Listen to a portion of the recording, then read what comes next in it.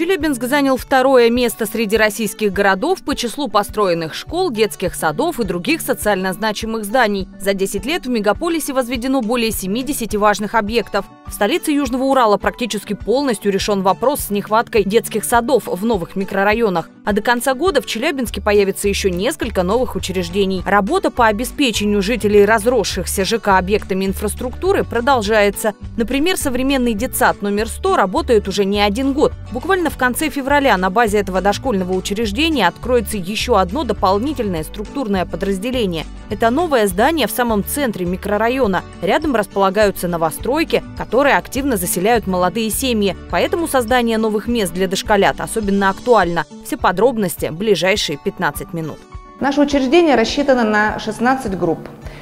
А, проектная мощность составляет 388 детей, но наше учреждение посещает 460 детей.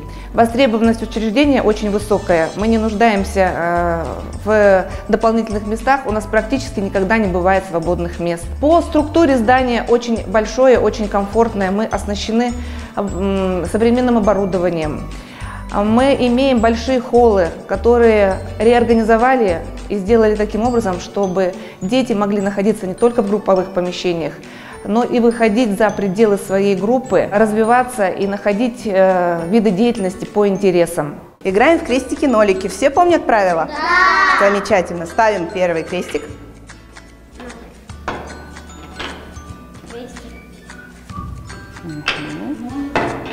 Фердаус, выигрывай. А рано! Ульяна, рано! Хорошо, Ульян, ставь.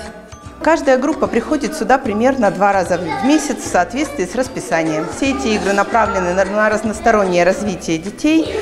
Эм, также можно приносить различные выносные игры э, и играть с детьми в совместной деятельности. Что будем с числами делать? Складывать, да? Хорошо. Помните, что цифры с собой забираем. Алиса, первая идем. Цифры бери. Сколько вместе? Четыре. Ой, пять. Допрыгивай до конца, в коробку складывай. Ульяна, допрыгивай. Сколько вместе? Шесть. Допрыгивай до конца. Мы находимся с вами в уникальном и очень интересном холле. В этом холле вот здесь вы видите уникальный комплекс сенсорно-динамический дом совы. В нем дети очень хорошо развивают двигательную активность, моторику. Особенно он подходит детям, у которых неуклюжесть или моторная неловкость, или тревожность, или гиперактивность, или в период адаптации. Также здесь детям очень интересно играть на пенарте. Здесь они у нас печатают различные фигуры в разном расположении, буквы, цифры, чтобы правильно потом их писать. Идем по следам на наш любимый пол. Мы видим интерактивный пол, на котором дети играют и парами, и самостоятельно, и под группами. Здесь у них развивается вместе с движением и мышление, и память, и внимание, и восприятие. Мы хотим, чтобы каждый уголок детского сада заиграл и послужил для развития детей и развивал разные направления. Так у нас появились, как вы видели уже, и нейрохоллы, и радужный островок, и тарарам. И вот этот чудесный холл профессий, в котором мы совместно с детьми организуем сюжетно-ролевые игры различной направленности. Пространство группы достаточно маленькое, и развернуть какую-либо игру сложно. А здесь мы можем выйти и, пожалуйста, мы можем полетать на самолетах, заказать билеты, сдать в багаж вещи. Здесь есть ключи, пожалуйста, открываем все, закрываем, сдаем. А, космический у нас аэродром или а, где есть космолеты, ракеты, а, диспетчеры, пожалуйста. То есть мы разворачиваем любые игры по желанию детей. Все таблички, оно все снимается, оно все мобильное, дети сами решают, куда мы поедем, в Турцию, в Крым, либо останемся все-таки жить в Челябинске. А далее у нас также здесь и стройка. Разворачивается это полностью, начиная от дизайн-проектов, нарисованных самими детьми, заканчивая уже конкретным строительством, ну, например, вот такого замечательного многоэтажного дома. Режиссерские игры для тех детей, которые больше любят а, а, сидячие, да, сидячие игры. А, дальше у нас и кафе, и суши-бар, и ювелирное, то есть все суши сделаны руками детей. То есть все игры обновляются совместно с родителями. То есть это просто пластилин. Далее у нас также ювелирный салон, как вы видите, мастерская шкатулочка. Здесь также сделаны игры руками детей, все бусы, все украшения. То есть любую коробочку мы открываем, видим замечательные Наверное, это алмазы, сапфиры и прочие драгоценные камни.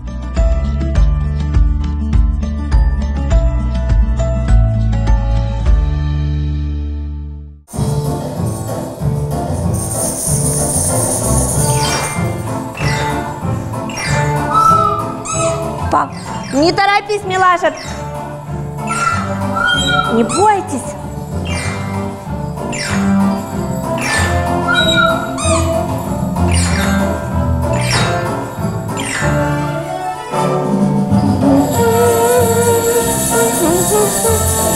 Пытаемся заинтересовать а, детей любых возрастов, начиная с яселек. А у нас в первой младшей группе уже приходят детки полтора года. Э, мы, конечно, благодаря предметам, а, игрушкам пытаемся заинтересовать, потому что у них проходит период адаптации, чтобы они хотели идти в музыкальный зал. Для этого у нас есть платочки, колечки, бубны, куклы, игрушки, с которыми мы танцуем. Наш детский сад оснащен различными музыкальными инструментами. У нас э, огромное количество инструментов. Это и ложки, это и бубны, это и маракасы, это и металлофоны, ксилофоны.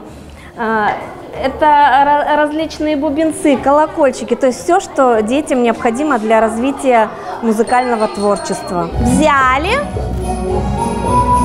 четыре шага вперед, четыре шага назад, вперед, вправо, три шажочка лево, встретились, передали. Вперед. Шагают наши. Кабинет УМКа используется для интеллектуального развития детей. Здесь у нас происходит, проходят занятия по лего, а также занятия с различным интерактивным оборудованием. Итак, здесь у нас интерактивная доска. Варь, получилось? Так, хорошо. Э, на интерактивной доске у нас есть тоже различные игры, как готовые, так и те, которые мы сами производим. Также в этом кабинете есть э, конструктор Lego Виду, он программируемый. Давай запустим так, чтобы машинка у нас двигалась.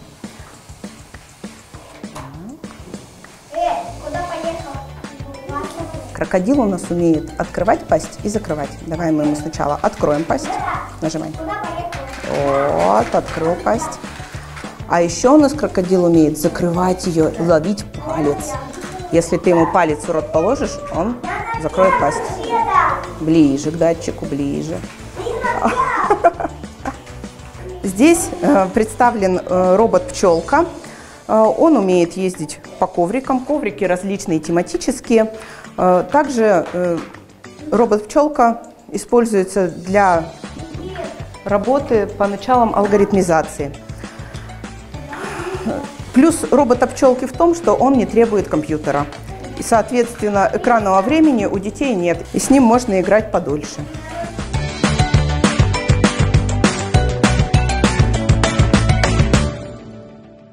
Ребята, сегодня мы с вами будем рисовать такое явление, как огонь. Посмотрите внимательно, пожалуйста, на экран. Здесь я уже изобразила для вас горящий костер. Кто-то играл спичками, и случился пожар. Угу.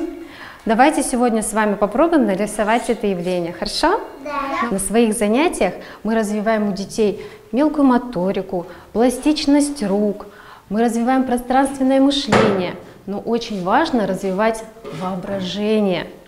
Ведь знаете, когда а, ребенок развивает воображение, он фантазирует, и это ему пригодится не только в детстве, он с этим пойдет и в школу, и в высшее учебное заведение. Пальчик мой, пальчик мой, порисуй со мной, нарисуем мы пейзаж, нарисуем мы портрет и отправим мамочке фото «Привет».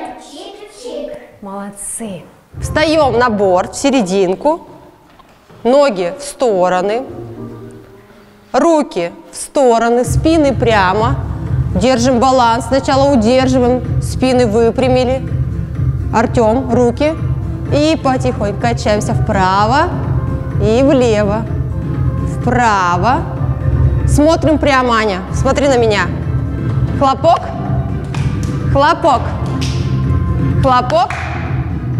Хлопок. Одна рука на поясе, другая на плече. И меняем. Раз, два, три, четыре. Молодцы. В эпоху цифровых технологий, конечно же, мы особое внимание э, уделяем развитию двигательной активности детей. И в своей работе мы используем не и стандартное оборудование, традиционное, а также нестандартное нетрадиционное оборудование и даже оборудование, которое мы сделали своими руками, придумали его, называем его авторское. Тренажеры детские, их немного, они не пользуются большой популярностью у детей, в отличие, например, от наших фитболов, пончиков, которые воспринимаются детьми как игра и прекрасно, прекрасный результат получается, если мы занимаемся именно с этим оборудованием. Также вот насчет авторского оборудования, это и коридорчики, которые позволяют отрабатывать различные виды ходьбы, прыжков.